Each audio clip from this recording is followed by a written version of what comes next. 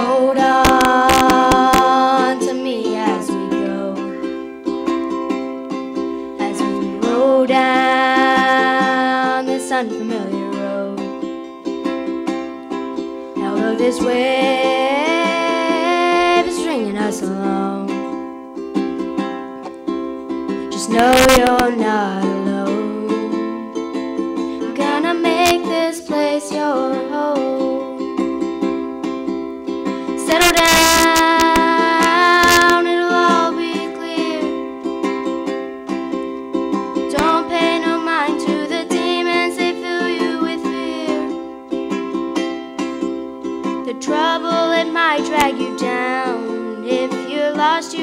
always be found. Just know you're not.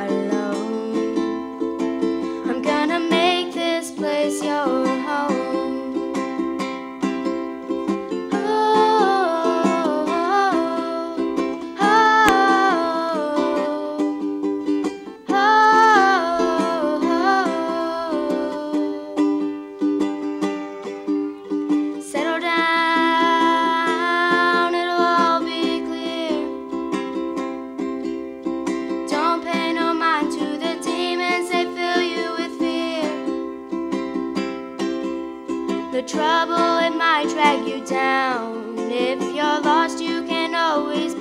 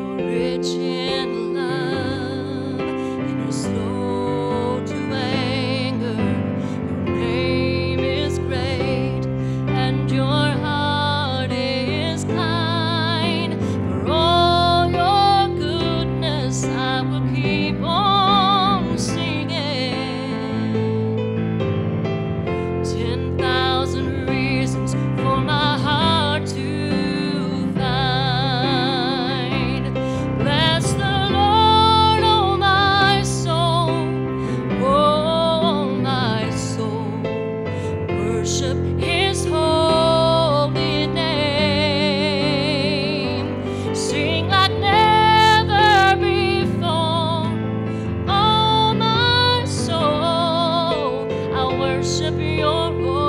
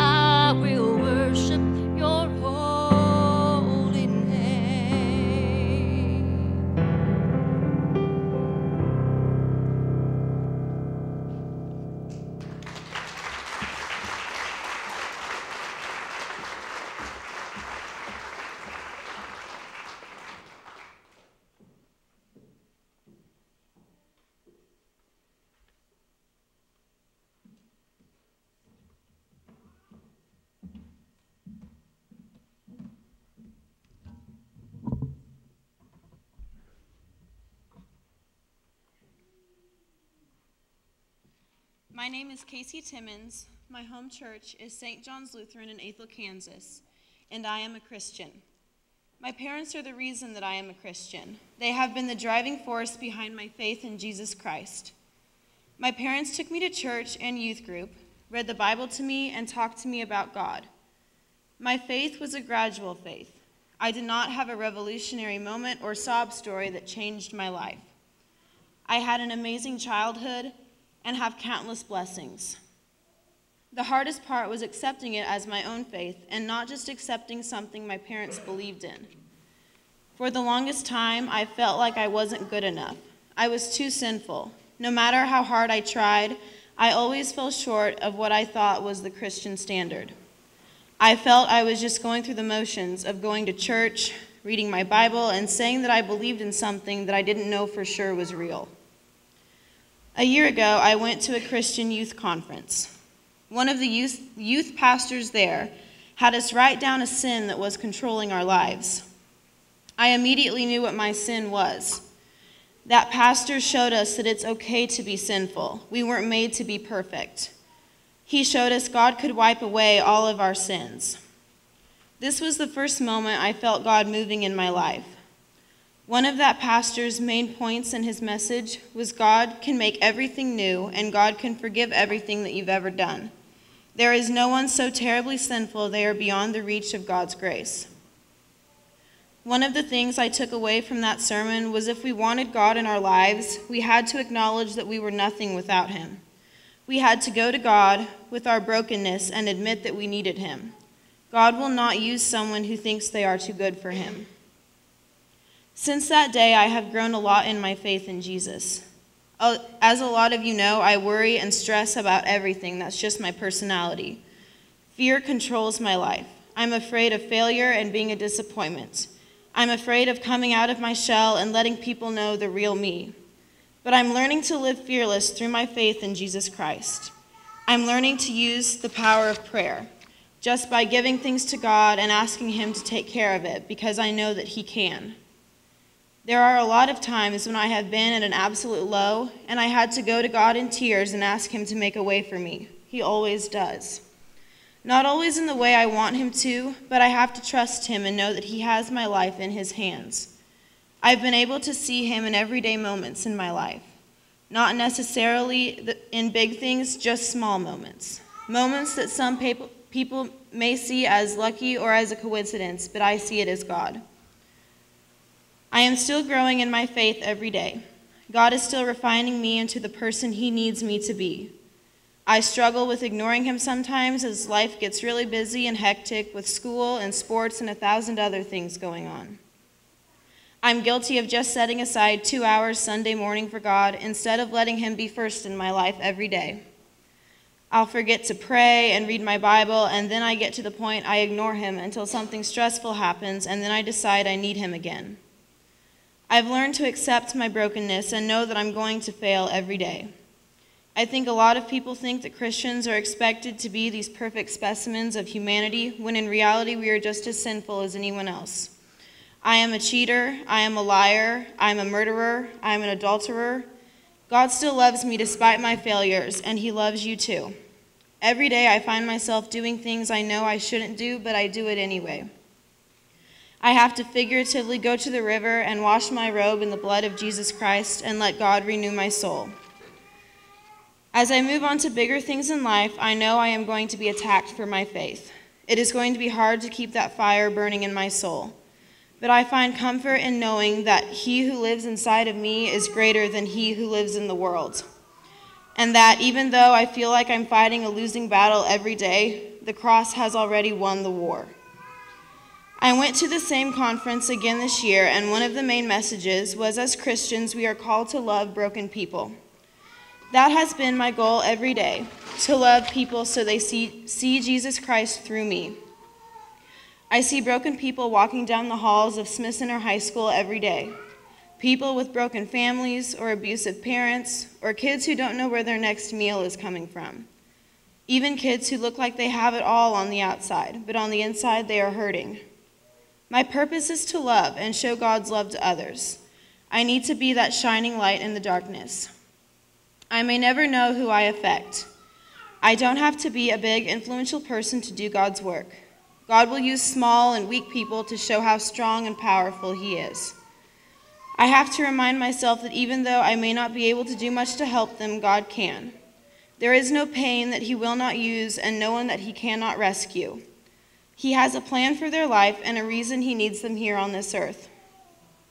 As we are graduating and leaving high school, we all have these big plans for our lives college, career, military, maybe even marriage and family. We all make plans. Even I have my own plans. Yet I know God can change those plans in an instant. We are on earth at this time for a reason. He has his own plan and purpose for our lives. Romans 8:28 says, "God causes everything to work together for the good of those who love God and are called according to his purpose for them." If we ask him to guide us, we can start this adventure in peace, knowing he has walked the path ahead of us and is surrounding us in his unfailing and merciful love. I encourage you, if you have not already done so, ask Jesus to be your personal Savior, to come into your life and guide you through your life's journey. It will be a, a decision you will never regret. Thank you.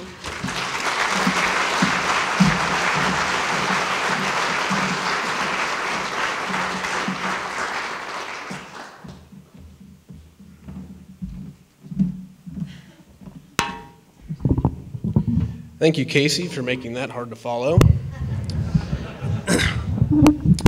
I'd like to thank the Ministerial Alliance for uh, allowing me to speak to you tonight. You know, as I look back now, as this is our my final few days here in the school, that high school is really kind of funny, if you think about it. All your friends that you meet when you come into this school, people you never knew before, people move in, you make new friends, your teachers, you get to know them on a personal level. Funniest thing is Mr. Kelch, though. He's just a funny guy. I see you back there smiling, looking at me. All throughout life, we see that there are rules rules for everything. So, as you're a child and you're playing with your brother, it's share your toys. I've heard that before, right, Mom? I think so. And then you get into high school and it's the student handbook. You have to follow a dress code, you have to be at school on time. And then as you go into life, it's the law things you have to follow, like 65 miles an hour, and don't throw your trash out the window. So, what happens if you don't follow these rules? If we don't obey, we'll get in trouble, right? Yeah, if you uh, litter or you drive too fast, or if you go and steal your neighbor's watch because you think it looks pretty cool, you're going to probably go to jail. If, you know, I don't show up to class three times, I'm going to get a detention because uh, that's how the student handbook says that it'll go. And then if you're in trouble with your parents as a youngster, you're probably going to have to go sit in timeout and think about what you've done. Our parents, teachers, family members, and people in the community, they might be disappointed in our decisions or our actions. In high school, like I said, if I showed up three times, I would have to have a detention late. If I didn't turn my research paper into Mrs. Molzon on time, I would get docked on my grade. Not that that has ever happened to me. And if I were to tackle my brother out in the front yard when I was a little guy, I might get a stern talking to and have to go to my room and think about what I've done. Now, that may have happened to me a few times when I was growing up. But what are we losing when we don't follow these rules? Play time with your siblings, time after school that you could go do something that you want to do, or time as being a free citizen. Time. All three of those. Losing time. What a valuable thing to lose as a person. As I stand here, I think me standing here, I'll never get these seconds back. We never get high school back. It's time. Time you will never get to do over again. Ephesians 1:10 says as a plan for the fullness of time to unite all the things in him, things in heaven and things on earth. A plan for the fullness of time.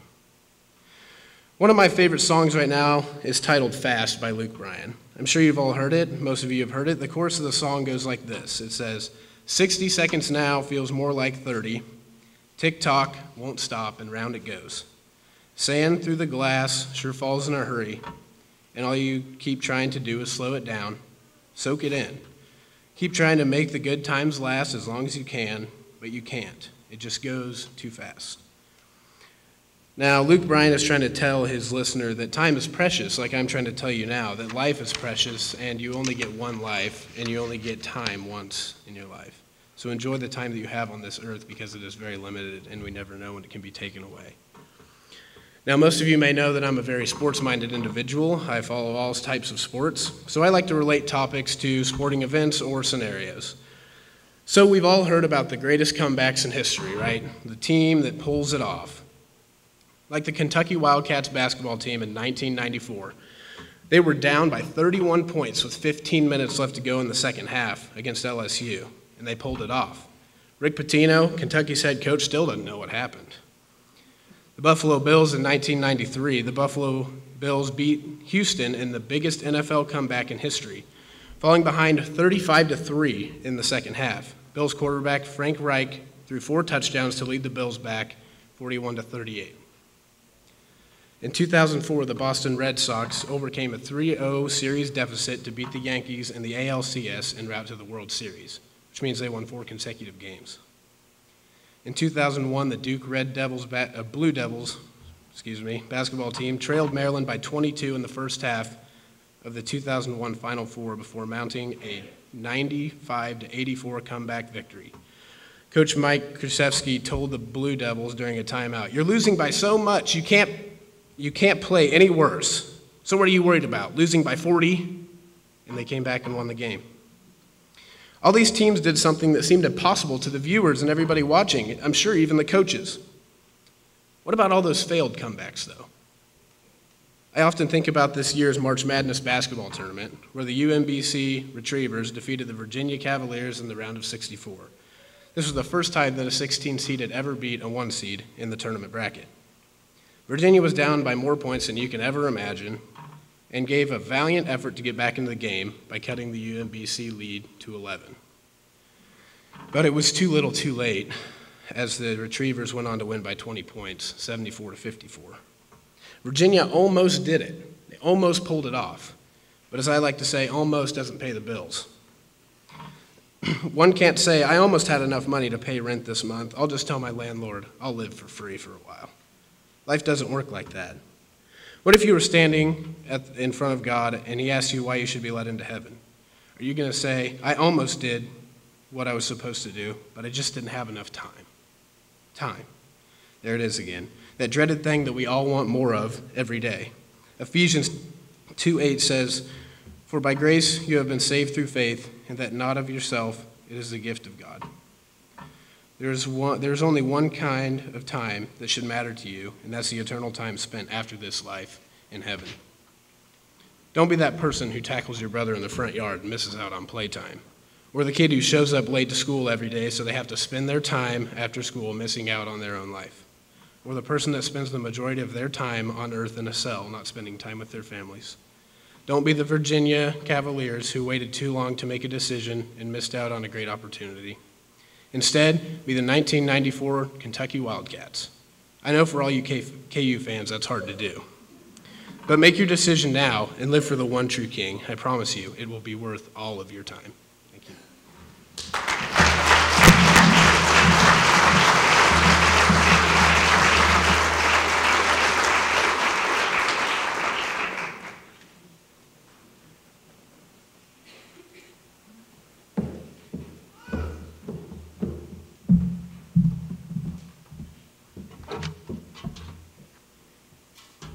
Good evening. I would like to start by congratulating the 2018 graduated class of Thunder Ridge High School and the soon to be graduated class of Smith Center High School. It is my pleasure to be able to stand in front of all of you and share my faith journey. I've had several opportunities in recent years to share bits and pieces of my faith, mostly mission trip stories, but I have yet had an opportunity such as this to evaluate my faith throughout my 18 years of life. A few months ago, when Pastor Emily Blank texted me and asked if I would be willing to be a student witness today, I was a bit hesitant. I thought, I really only have one awesome story about my faith that I could tell. So I asked if this story, which Emily experienced with me, would suffice as a speech. She said it would. So I didn't worry too much about putting any further thought into my speech because I'd shared this story before. But we all know that God oftentimes has other plans. In these last few months, I've caught myself thinking deep into my walk with God, and I realized that I have a much bigger story to tell than my mission trip experience. We're going to start at the very beginning of my story. I was baptized, raised, given my first communion, and confirmed at St. John Lutheran Church in Kensington. I have gone to Sunday school